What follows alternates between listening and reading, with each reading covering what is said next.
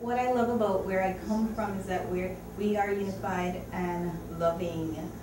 We have often been stigmatized and stereotyped, but yet we rise above that and we do our best in whatever we decide to do.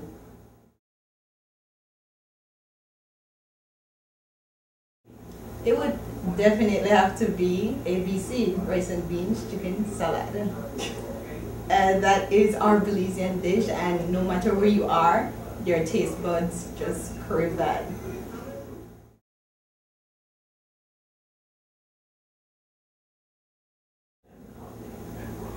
It'll have to be 10th of September. It's really historic in our Belizean culture. As Belizeans, we should be proud to celebrate this day. I mean, if they didn't won the Battle of St. George's Caye, who knows, we could have been Guatemalans or Mexicans. So it is definitely what our heritage as Belizeans is centered around.